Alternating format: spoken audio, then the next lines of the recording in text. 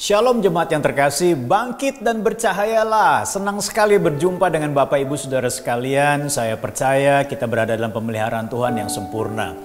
Kita telah memasuki uh, bulan ini dengan sebuah tema melangkah dalam kesatuan. Tentunya kesatuan itu bukan hanya sekedar didoakan tetapi diupayakan. Nah saudara yang kasih dalam Tuhan, hari ini kita akan melihat bersama-sama kebenaran firman Tuhan yang terambil dalam Yakobus pasal 3 ayat 1 sampai dengan 12. Saya akan bacakan ayat 9 dan 10. Dengan lidah kita memuji Tuhan, Bapa kita, dan dengan lidah kita mengutuk manusia yang diciptakan menurut rupa Allah. Dari mulut yang satu keluar berkat dan kutuk, hal ini saudara-saudaraku tidak boleh demikian terjadi. Saudara yang kasih dalam Tuhan, peranan perkataan dan kalimat yang kita ucapkan itu sangat penting. Baik di hadapan Allah maupun di hadapan manusia. Kenapa? Dia bisa mendatangkan perpecahan, tapi dia juga bisa mendatangkan persatuan. Dia bisa mendatangkan hal yang buruk, tapi juga dia bisa mendatangkan hal yang baik. Dia bisa memadamkan amarah tapi juga dia bisa menggemakan angkara murka. Nah saudara yang gak dalam Tuhan, penulis yaitu eh, Yakobus memberikan ilustrasi bahwa lidah itu bagaikan kekang pada mulut kuda yang yang dapat menjinakannya.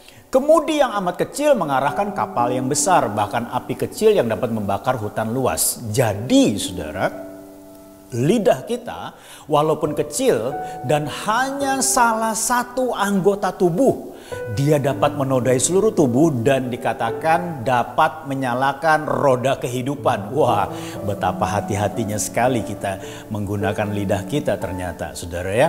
Penggunaan lidah berpotensi menghasilkan kata dan kalimat yang bisa berdampak, baik atau buruk, benar atau jahat, melemahkan atau menguatkan mempersalahkan orang atau membenarkan orang. Ini berbahaya sekali saudara.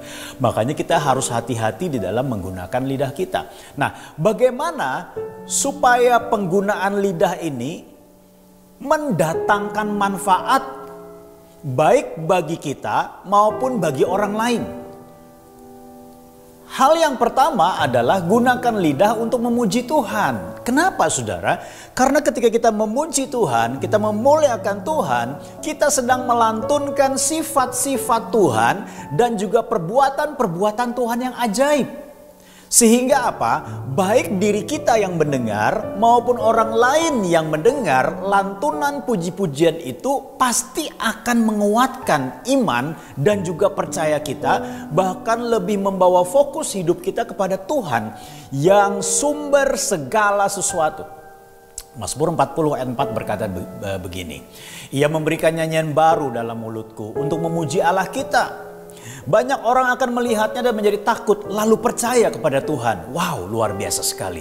Ternyata lidah kita bisa membangkitkan iman bagi orang lain ketika kita menggunakannya dengan cara memuji Tuhan, melantunkan sifat-sifatnya dan melantunkan perbuatan-perbuatannya. Hal yang kedua, Saudara, gunakan lidah untuk memberkati sesama. Ini sangat penting. Kenapa? Karena semasa hidup sudah terlalu banyak kata-kata kutukan, persungutan, cercaan, kotor, kata-kata kecemasan, kata-kata kekhawatiran, kata-kata persungutan, kata-kata ketakutan yang kita dengar setiap hari. Kata-kata itu bisa melumpuhkan kreativitas, bisa memenjarakan pikiran dan menekan kehidupan. Semua itu merupakan rancangan iblis agar manusia semakin terpuruk dalam dosa dan ketidakmampuan, serta hidup dalam perpecahan. Tuhan ingin kita bangkit dari dosa dan menang dalam menjalani kehidupan ini, saudara. Dengan cara menggunakan lidah dengan bijak seperti firmannya dalam 1 Petrus 3 ayat 8 sampai dengan 10. Ini firman Tuhan luar biasa sekali.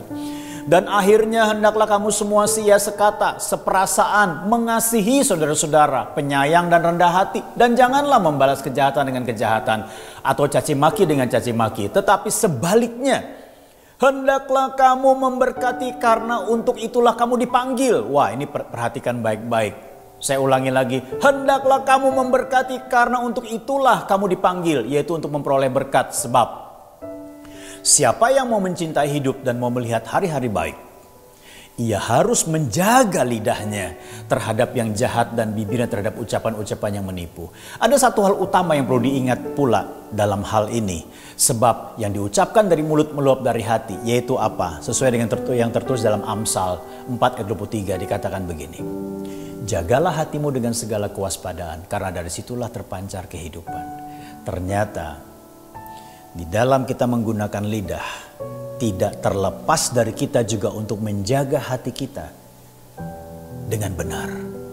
Menjaga hati kita untuk terus selaras dengan firman Tuhan. Sehingga apa yang keluar dari mulut meluap dari hati sehingga orang yang mendengarnya mendapatkan semangat baru, orang yang mendengarnya memperoleh kekuatan baru, orang yang mendengarnya imannya dikuatkan. Melalui semuanya ini, kita dapat melangkah dalam kesatuan.